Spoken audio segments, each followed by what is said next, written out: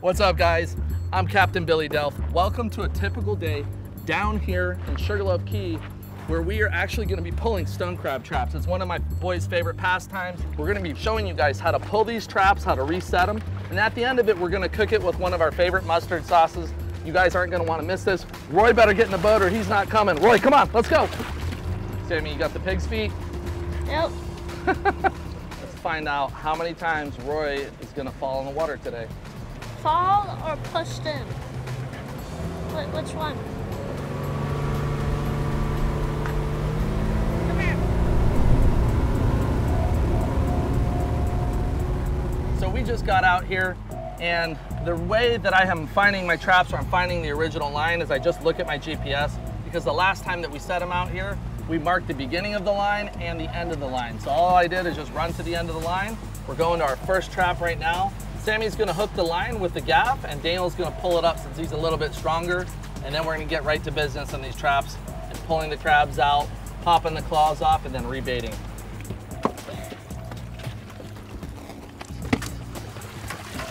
Boy, watch out. Uh, here's some. Ooh, we got some nice ones. You can see them hanging on the top right here. What was there? Five? They're fighting. I don't know if I want to grab those right now.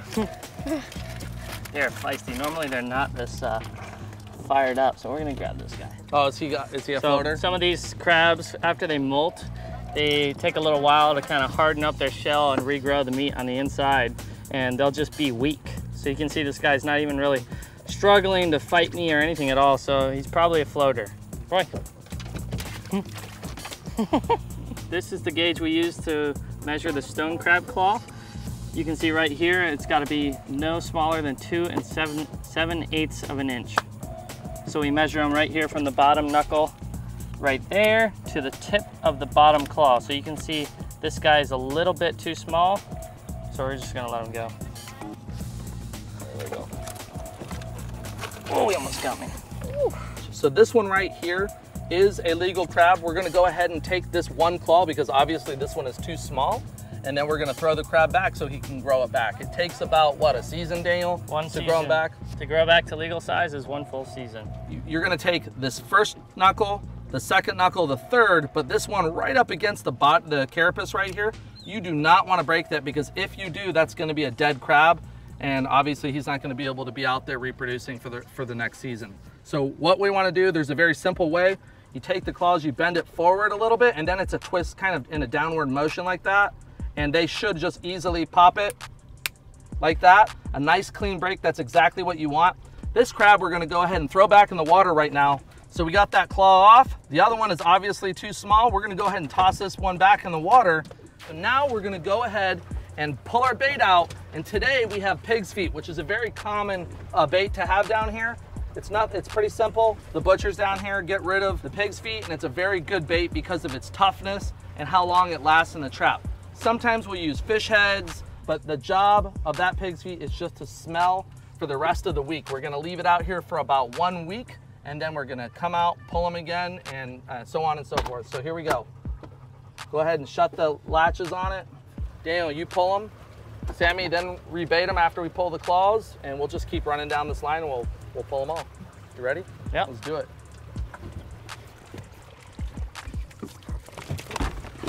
Ooh, this one's got a ton of growth on it. Camouflage. See what we got in here. Big one right. Ooh, big boy.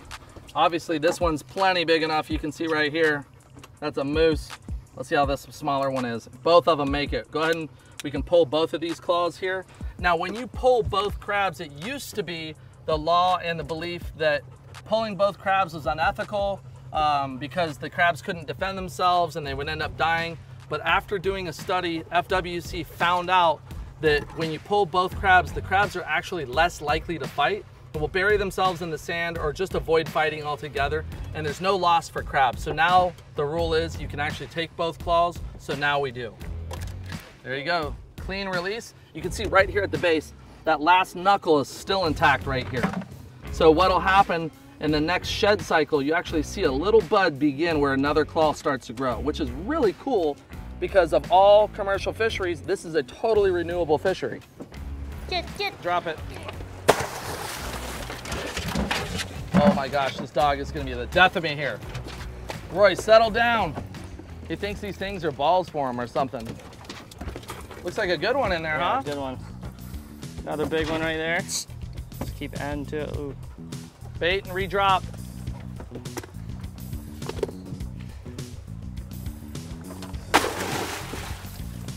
Davis, look what Sammy got. A seahorse was on the, On the rope. He was just holding on with his tail. He fell off. Look at all the crabs in this one. The Oh my gosh. seahorse.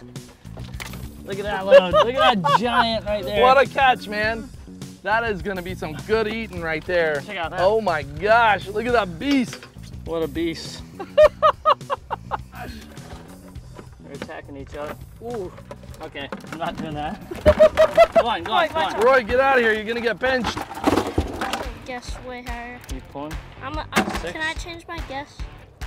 Okay, Don't pull away.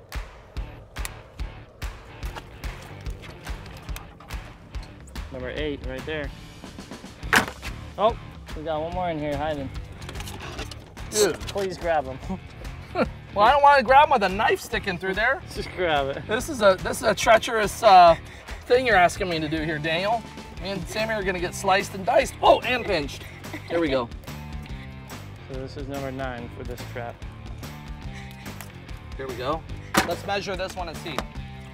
Oh, that one makes it. Funny good. So how many is that for this one? Ten. 10 claws. Here we Oh, there we go. Let's see, 10 pounds of stone crab at an average of, $40 market 40. price is $40 a pound right now. realistically, yeah, that's $400 in stone crab if we can get 10 pounds. All right. Drop them.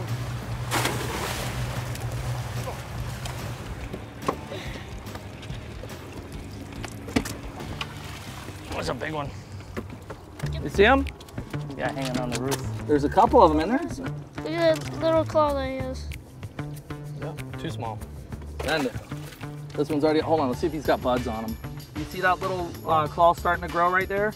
Not sure if you guys can pick that up, but that little bud right there is a new claw growing on that knuckle.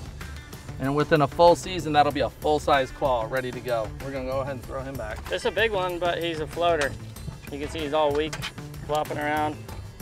So we're So floaters, when Daniel calls it a floater, what that means is when we throw all these claws in the pot to cook them, which you have to do because if you don't cook them and you put them in the refrigerator and, and uh, freeze them, the meat will stick to the actual shell and it's un- you're unable to eat it.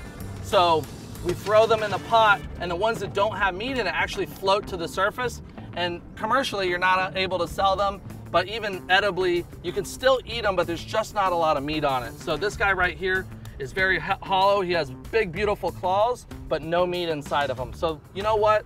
Let's just throw him back let him go through his nat- natural cycle and we'll go on to the next one and uh, hopefully get some more big good eating crabs here drop and pull baby Here, Daniel.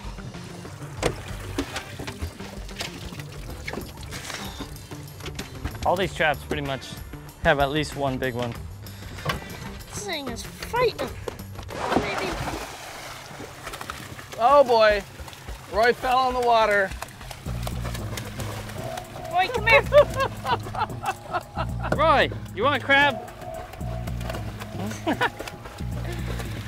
Oh, Roy. Roy, what are you doing? Here, uh, drop this trap. Drop this trap, and we'll, we'll pull another one. He's here. going for the boom. Get it, Roy. Come here. Get it.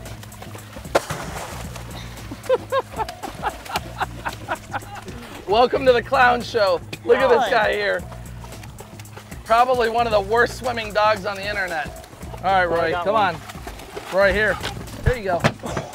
Oh, he grabbed me. I'm glad I had gloves. Roy, He got me. come on. Sammy, you ready? Yep. Go ahead and get it, buddy. Nice. The greenhorn is is turning into a, a, a, a regular seasoned veteran here. Oh my gosh, look how big that one is. Oh my god. What a huge. chungus. Please don't get me. Hold on. Hold on. Look at the size of these guys here. There's two of them in there. They probably bullied This one's all too small. ones. That's a nice claw right there. That's a colossal claw, claw right there. At Joe Stone Crab, these things this big sometimes go over a hundred dollars a pound. So this is this is definitely some high dollar food, and if you can get it, you will not be disappointed. These things are such good eating. There we go. Yeah, pop that one. Nice. What a beauty. There we go. Pops it out nice and easy. Decent little bucket right there.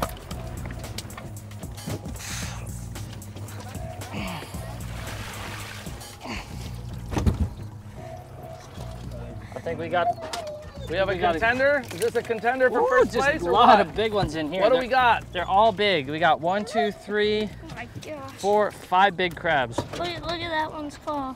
It's broken. Uh, maybe not. No, he's fighting. Let's do it. Oh, this one's too small. This one's big enough. Don't. Wow, look at the claw. That one's super strong. Ready? All right. All right, guys. Well, I think that's our line here. We got a great haul. Check this out. What a what a huge haul of claws we have here. Very nice. What do you think, Dale? Weigh that. Oh, yeah, that's. Think we got 10 pounds in there? Uh, I'd say we're probably eight, maybe a little more, closer to nine. That's probably close to five or six hundred dollars in claws in there, um, depending on where you're buying them. But I am super happy with that. That's a great haul. We had claws in every single trap. Let's get in right now and cook them up and show these guys how we do this. What do you say? You ready? Yeah, let's do it. All right, welcome to Casa de Delph. We are back at the house. It's time to get these stone crab claws in this boiling pot of water.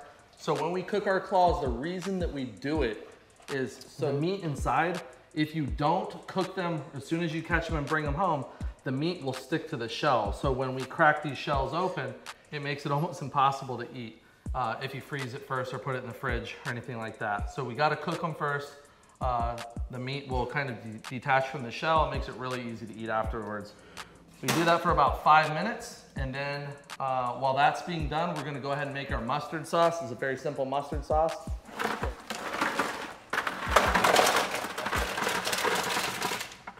So if they're not covered, it's okay. The steam will cook the rest. Bring it to a rolling boil. We'll go ahead and put the lid on.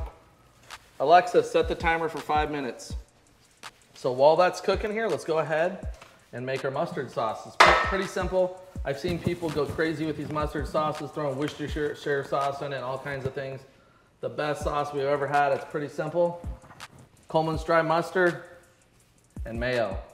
Uh, we usually use the dry mustard, but we couldn't find it at the grocery store for some reason, so this stuff will work. It's pretty good. It's got a lot of bite to it, and uh, you mix it to taste. So we're gonna go ahead,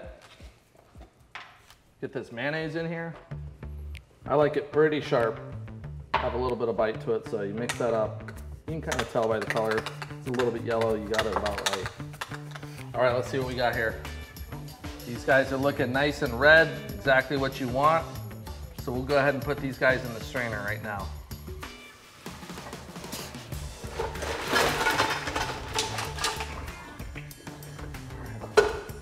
Set this to the side. So now it's time to crack these things. You want to be really careful. Throw a rag over these things so you can feel it. And the first whack is actually going to be right about here like this when you do it. Use a mallet or a small hammer or something like that. And uh, you want to pop it just hard enough that when you do it, it's just cracking the shell, it's not blowing it up. So you can feel it crack there. This one's actually a little bit of a floater, man. It's kind of hollow. You can actually, it is a floater. Look at that. See how little meat is in that one? We were talking about those floaters earlier. Now let me let me crack a whole one and I'll show you I'll show you the difference here. You can actually, as you pull that apart, whew, and you can see how full that is. Here's a floater, and here is a regular claw. Big chunk of meat. You can see the cartilage in this. It's, it- it's on either side. It's not stuck to the shell. And uh, these things are still piping hot. This is as good as it gets right here. Woohoo! Nice and hot. Dip it in that sauce. Now this is it.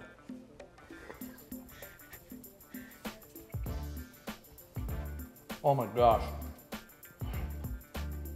I don't normally eat them this hot and it's actually even better. Oh yeah, I highly recommend that. Boys, you wanna try it? Yeah, let me get one. Definitely want to eat them warm for sure. Mhm. Way better, right? Yeah, it's much better. All right, guys, there you have it.